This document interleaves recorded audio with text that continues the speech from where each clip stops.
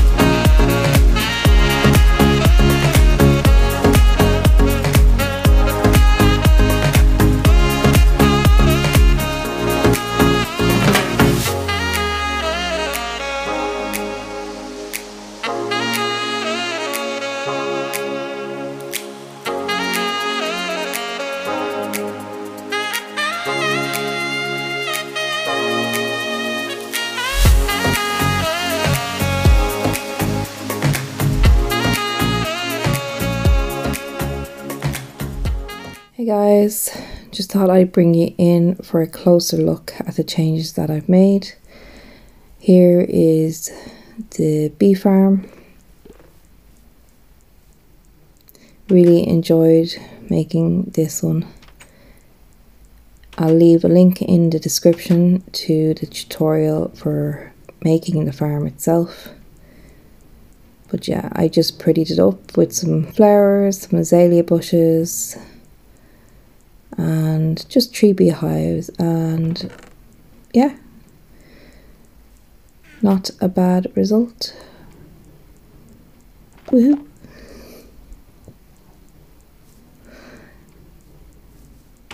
let's get some candles going hopefully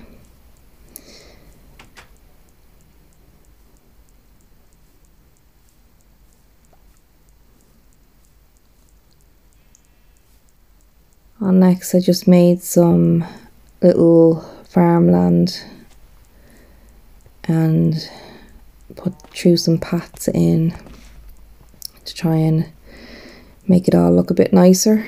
Moved the cows and sheep over to their own little pen over here.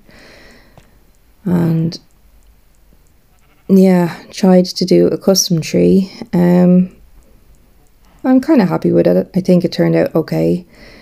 Hopefully, I'll get better the more I try and do. But yeah, it's not bad.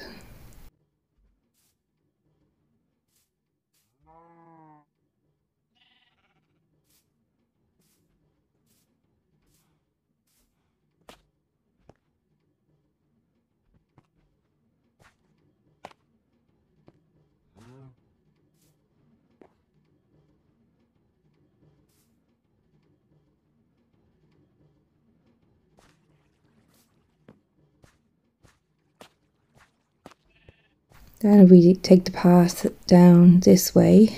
Um, brought it over and I made a stairway up so that we could get higher up into the mountain. As I was clearing land, the trees up here, I came across this natural uh, tunnel that cuts through the mountain and came out a little bit higher up. So I decided to make it into a cool little cavern cave um, walkway. Really like this.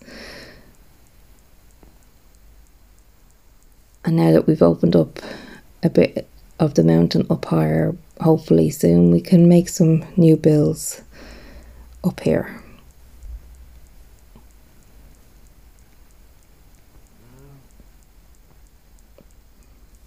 And also um, inside the hobbit hole, I redecorated, made a little couch seating area, got my own enchantment setup done, which reaches level 30.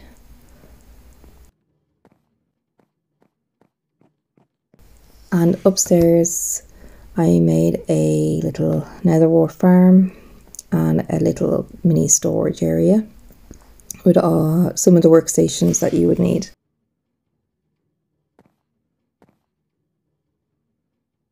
Um, and I was mining and I came across a zombie spawner and found this disc which I've never seen before. And all I say is the music is pretty cool. I like.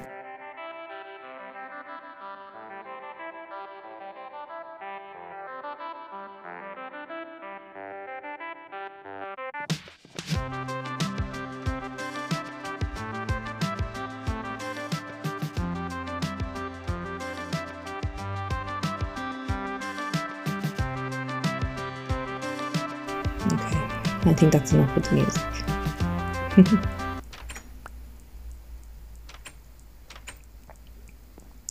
so yeah, that's a cool disc. I like that. Down here, I loved the glass floor so much that I wanted to extend it out uh, further over the ravine so we could see more of the mine shaft, which I think looks pretty cool and decided it would be a great spot for my nether portal. So I popped that in. And I'll bring you through to the nether and show you how we arrive. It's pretty weird. No nether portal here. Instead, we spawn in a soul sand valley. Yikes. So I was quickly ready to safen it up. I got fed up with getting blown up multiple times. Uh, yep, as you can see, plenty of gas. So we followed down here and we have a little drop down to get it out down into the hub. It brings us out as Rebel and Summer's Portal. And here we are at the post office check, see if we have any mail. Yay! Oh, thanks so much, L. Yay! Now, quick build here, we're going to make a melon and pumpkin farm. Um, so enjoy the time lapse. Bye.